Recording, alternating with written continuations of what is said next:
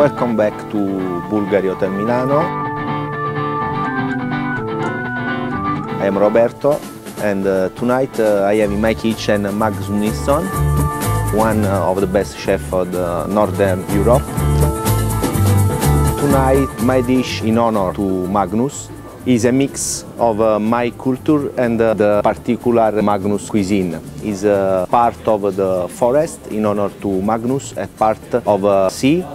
Is uh, baccalà with uh, from Piedmont forest, boscopalli, black truffle and uh, crumble of cacao. For my dish, I will use uh, a special type of garlic grown in my garden. Behind uh, my kitchen, the name is uh, Garlic Lovers because uh, after heat, this type of garlic, you can kiss your lover. My name is Magnus Nilsson and uh, I run a restaurant called Fäviken Magasinet up sort of way up north in Sweden and I'm here for uh, three days in Milan to cook at the Bulgari Hotel a couple of dishes from the restaurant. We, uh, we work uh, mainly with produce from the region where the restaurant is located.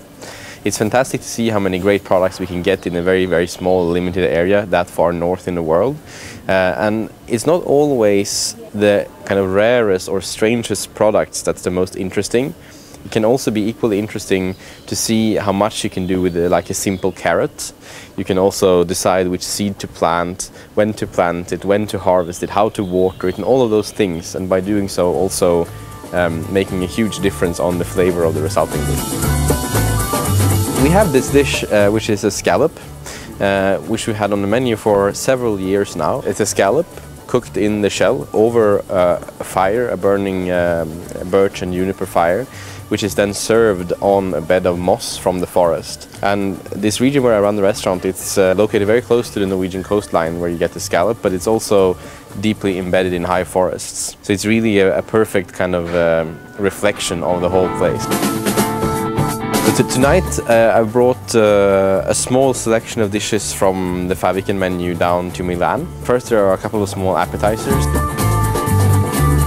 Then there is the scallop dish that I mentioned earlier. There is a, a dish of king crab, and then there is a, a, dish which is based on many different grains. They're from up north. Um, there's also a pork chop and uh, a couple of simple desserts.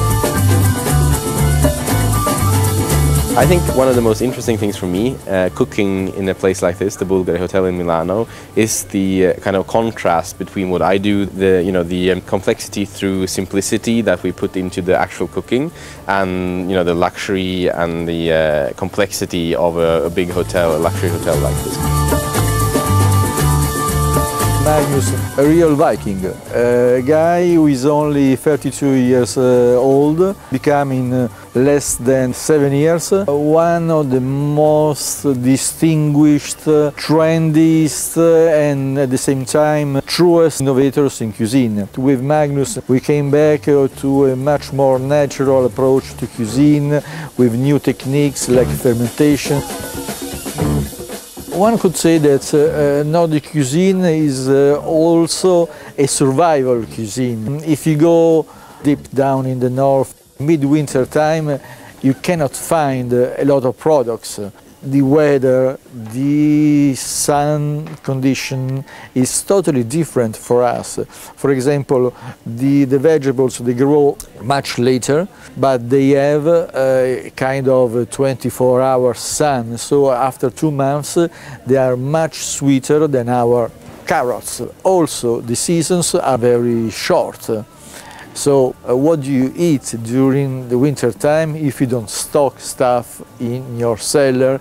Uh, what do you do? You can start uh, processing your food, fermenting it. Uh, Magnus used to cook uh, two years old carrots. Uh, so it takes a, a, different approach.